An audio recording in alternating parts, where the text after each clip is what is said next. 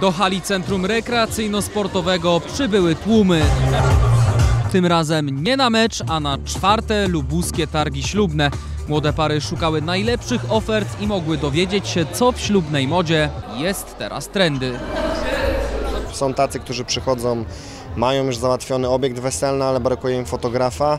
Raczej każdy skupił uwagę na tym, czego w organizacji ślubu wesela brak właśnie u niego.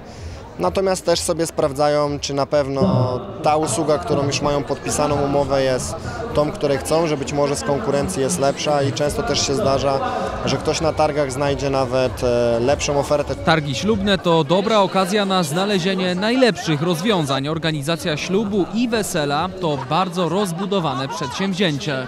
Kilka pięknych sukien ślubnych zobaczyliśmy. Garnitury też są bardzo ładne.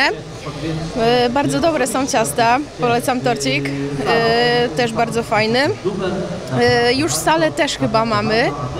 I tak mi się wydaje, że mm, dość dużo tutaj spraw załatwiliśmy. Ciężko tak naprawdę podjąć tą decyzję, że a akurat to, tylko to trzeba na spokojnie sobie siąść w domu, wszystkie te informacje prze, prze, prze, przewertować, zobaczyć y, i wtedy, wtedy dopiero tak naprawdę tą decyzję chyba podjąć, bo, bo tutaj od razu jest za, chyba za dużo tego wszystkiego, żeby się na coś zdecydować. Podczas targów odbyło się kilka pokazów. Na wybiegu prezentowano między innymi suknie ślubne. A jaka powinna być ta idealna? Suknie ślubne zawsze tradycyjnie w bieli, zawsze szerokie, tiulowe princeski i zawsze koronkowe. Zmieniają się tylko ozdoby na sukniach, układ koronek i biżuterię. Młoda para nie może zapomnieć o swoich gościach. Ważne jest miejsce i jego wystrój. Przepych nie jest wskazany. Staramy się oczywiście w, w każdych, jeśli chodzi o dekoracje, stawiać na prostotę, żeby stoły nie były za bardzo, żeby nie było przepychu, żeby nie, nie, nie były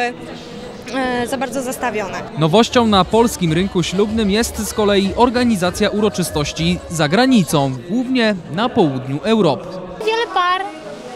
E, wybiera właśnie taką, e, taką ofertę ze względu na,